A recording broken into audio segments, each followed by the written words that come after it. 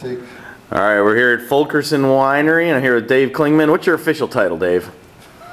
What do you go by these days? You're marketing director. You're I'm you're a advertising vineyard director, assistant. Vineyard, uh, vineyard assistant, grafter, man of all trades. Like official uh, jack of all trades as we have here in so many facilities. All right, and here in front of us, what, what are you? What task are you undertaking now in this this uh, chilly March, spring, or April, spring morning? Well, what I have the, the joy of doing is grafting these Merlot buds that we went out and got. And we cut up the buds, and I'm gonna stick it in this grafting machine that's probably over 30 years old. Chop that, sucks up the bud into the grafting machine, and then we take some rootstock, 3309 rootstock, and we'll graft it onto the Let's get a little close up of that. So there you can see the bud is right there grafted to it, and like show if you would, like it's a puzzle piece. What holds it in there? Yeah, okay, so it slides in there, and then then what's going to happen next? What's gonna happen next, we're gonna dip it in wax, and then we're gonna plant it in these, uh, big boxes, and it's gonna force a callus to, to make that union stronger. And then we're gonna have it growing in here in a little hot house, we'll make a little hot house, and they'll start shooting the bud. Then this rootstock will be growing this Merlot bud.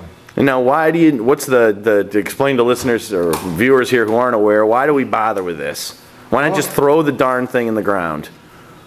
We do some plants where we'll take cuttings, just like a rootstock, of a certain variety and just plant in the ground, but certain vinifers, like Merlot, Cab Sauv, and uh, Cab Franc and those, are not strong enough, the root system isn't uh, as good as the 3309. So the 3309 rootstock is a lot stronger, more disease resistant, and that, that makes that variety grow much better around in this area. And it's less likely to die from some kind of what uh, microorganism in the earth, right? Yeah, yeah.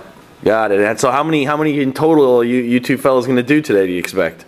Well over a thousand. Over a thousand. Yeah. How many are you going to do for the whole year?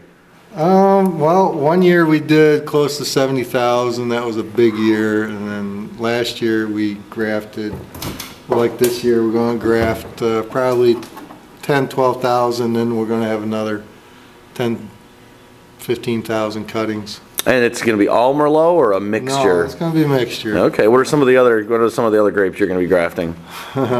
Cab Sauv. Yep. We're doing, we're gonna do a lot of Cayuga. We're doing a lot for replacement in our, uh, our vineyards. We're doing some Foch, Gewürztraminer, Traminette, uh, Dornfelder, Pinot, So a little bit of everything. yep.